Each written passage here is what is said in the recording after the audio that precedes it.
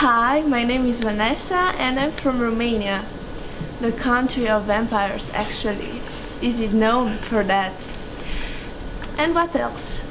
Uh, well, yes, uh, we had the makeup and some fitting, and I saw the dresses, and they are pretty amazing, all glitter, and we will look great.